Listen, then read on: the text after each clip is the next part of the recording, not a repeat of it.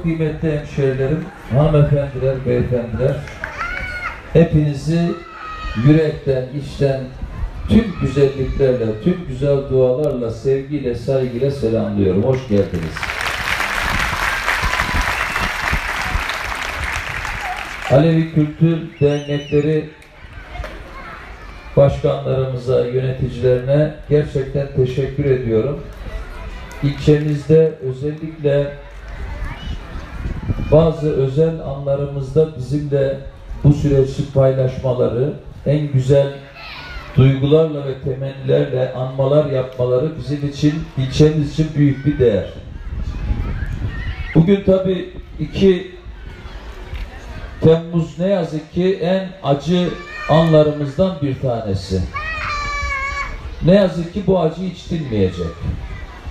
Ve ne yazık ki Sivas'ta katledilen canlarımız geri gelmeyecek.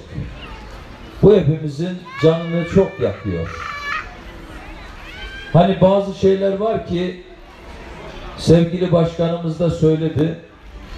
En kara leke evet tarihin en kara lekelerinden bir tanesi ne yazık ki Sivas'ta tarihimize işlenmiştir. Bu insanlık suçunu işleyenler hak ettikleri cezayı da bulamamış olmaları ülkemizin hak, hukuk ve adalete olan inancına büyük darbe vurmuştur. Bizler şehirlere, kitlelere, insanlara yönetici olabiliriz. Çok güzel işler başarabiliriz. Çok güzel hayata dair güzel anlar katabiliriz. Ama inanın eğer bir toplumda hak, hukuk ve adalet duygusu oluşmamışsa ve orada insanlar bunun sıkıntısını yaşıyor ve çekiyorsa ne yaparsanız yapın boş. Sağlıklı bir yere erişemezsiniz. Bu bakımdan şahsen şunu söyleyeyim. Bizim ülkemize, milletimize, şehirlerimize, herkese hak, hukuk ve adaleti damarına kadar yönetimlere nakşetme vazifesi yüklenmiştir hepimize. Dolayısıyla ben kendimi gerçekten her şeyin ötesinde yaptığım görevde en fazla titizlendiğim şey insanlara karşı en küçük şeylerde bile adil olma duygusudur. Çünkü bazen atılan birilerinin attığı kötü tohumlar insanların içerisinde ne yazık ki büyüyüp başka felaketlere sebep oluyor. Ve bu yönüyle her zaman söylerim. Bu ülkeyi yöneten insanlar, bu şehirleri yöneten insanlar yaptıkları işlere, eylemlerine, söylemlerine her noktada dikkat edecekler. Etmek zorundalar. Çünkü bazen farkında olmadan çok büyük suçların, çok büyük kötülüklerin bir parçası bile olabilirsiniz. Büyük bir sorumluluktur, mesuliyettir devlet adamı olabilmek, topluma hizmet edebilmek. İbadettir ama bir o kadar da büyük sorumluluktur. Onun için herkesin herkesin bu sorumlulukları taşıması lazım. İnsanın aklı dima almıyor. Yani bir insan bir insanı nasıl yakabilir? Almıyor yani vicdanı almıyor. Bu işin neresine sığarsa sığsın diye düşündüğünüzde hiçbir yerine sığmıyor, sığamıyor. Bu nasıl olur? Bu nasıl bir vicdansızlık diye düşünmeden edemiyor insan. Kaldı ki o otelin içerisinde bildiğimiz her insan insandır ayrı bir de aydınlarımız vardı, şairlerimiz vardı, yazarlarımız vardı, güzel insanlar vardı. Hepsine rahmet diliyorum. Mekanları cennet. Ve ben diliyorum ve istiyorum ki bu ülkeye ne olur yalvarıyorum hep birlikte. Hangi parçası olursak olalım.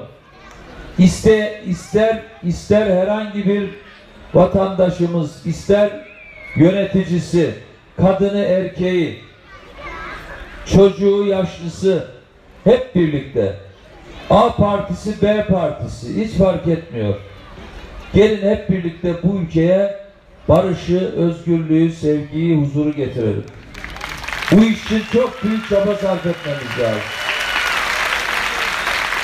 Belki o zaman bizleri buradan izlediklerine inandığım o sevgili canların ruhları rahat edebilir.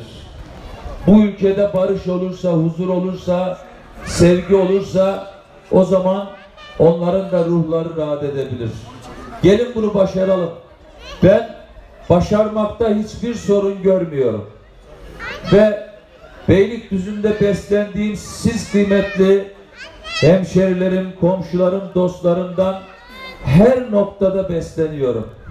Çünkü mükemmel bir sevgi köprüsü kurduk burada. Ve duam odur ki hiç eksik olmasın bu sevgi köprüsü. Hep var olsun. Bu yola adanmış bir kardeşiniz, hemşeriniz olarak size söz veriyorum. Sizlerin her zaman gurur duyacağı ve en başta gerçekten hak, hukuk, adalet, sevgi, barış, özgürlük, huzur adına hepinizin gurur duyacağı işler yapacağım. Bu anma gecesinde bunu söylememin tek sebebi şu. Umut ediyorum işte bu hayatlarını kaybeden kıymetli insanlarımız, vatandaşlarımız, aydınlarımız huzurunda söz vermek adınadır az önce söylediğim. Söz vermek. Ve ne yazık ki halen acılar yaşıyoruz. Halen acılar yaşıyoruz. Türkiye bu konuda büyük işler başarmak zorunda. Ve şunu ifade ederim ki Sivas gidip gördüğümde beni çok derinden etkile, etkilemiş güzel kadim bir kentimiz. Bu ülkenin tam bağımsızlığı için yola çıkıştaki en kıymetli kararların alındığı o güzel ilimizin sokaklarında dolaşıp bunu hissetmemek mümkün değil. Evet, derin bir acıyı da orada yaşadık ama şunu belirtmek isterim ki bu bize ders olmalı.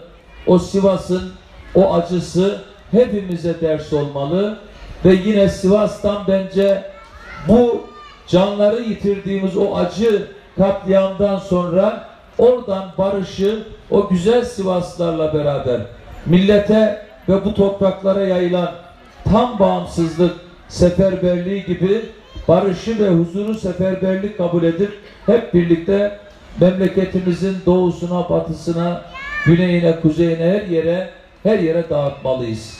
Hepinize bu güzel anmaya katıldığınız için teşekkür ediyorum. Duyarlılıklarımızı adaletsizliğe uğrayan kim varsa onun yanında olarak en üst noktaya taşıyalım. Yani benim tarafım onun tarafı yok. Acı acımızdır. Acınız acımızdır diyerek kim olursa olsun birine bir haksızlık, hukuksuzluk, adaletsizlik yapılıyorsa onun yanında dur durmak milletimizin bir arada olmasına vesiledir diyorum. Tekrar canlarımızı rahmetle, minnetle, şükranla anıyorum ve bu katliama sebep olan zihniyetin bu ülkemizden yok olup gitmesini dualarıma sığınarak tekrar hepinizin huzurunda yineliyorum. Ve inşallah bir daha ülkemiz böyle kötü günler yaşamasın. Sevgiyle saygıyla kalın. Sağ olun, var olun.